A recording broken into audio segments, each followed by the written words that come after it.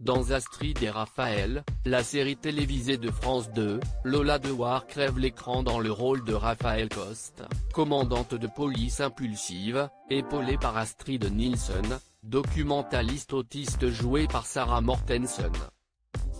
Et les audiences sont au rendez-vous, ce qui réchauffe le cœur de la fille de Patrick Dewar.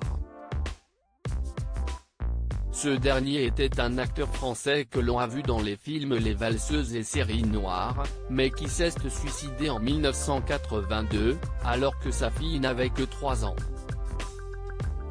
Une blessure indélébile, comme elle le confiera dans les colonnes de l'Express, je me suis dit, vers 10 ou 11 ans, qu'il ne nous aimait peut-être pas assez, ma mère et moi, pour choisir de scène aller comme ça. Si est sa mère, Elisabeth Malvin Chalier, qui l'a élevé seule. Sauf que voilà, comme son défunt partenaire, la maman de Lola Dewar souffrait d'une véritable addiction, elle était accro à l'héroïne. À ce sujet, l'actrice de 41 ans avait donné des détails lors d'une interview accordée à Gala, mon père, héroïnomane, l'avait entraînée dans ses addictions, dont elle tentait alors de décrocher. Je la voyais se bourrer de méthadone, des petites pilules roses qu'elle dépiotait chaque matin. Peu de temps après le suicide de son père, sa mère sous les dettes laissées par ce dernier, alors, la petite fille a été confiée à ses grands-parents, jusqu'à ses 12 ans.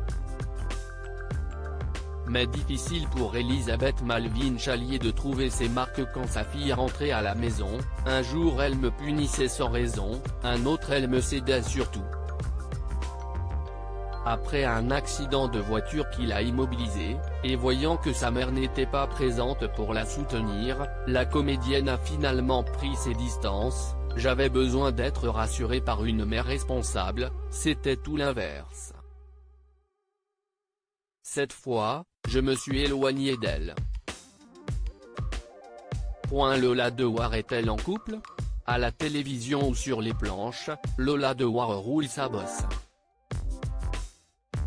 Et côté vie privée, elle n'est pas en reste puisqu'elle partage la vie d'un certain Pierre-Édouard Bellanca, comédien lui aussi. D'ailleurs, le 5 juin 2021 dans l'épisode 6 de la saison 2 d'Astrid et Raphaël, elle lui donne la réplique puisqu'il joue le rôle de Julien Kaplan.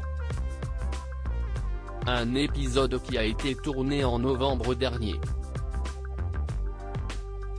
Date du début de leur histoire Il se pourrait bien.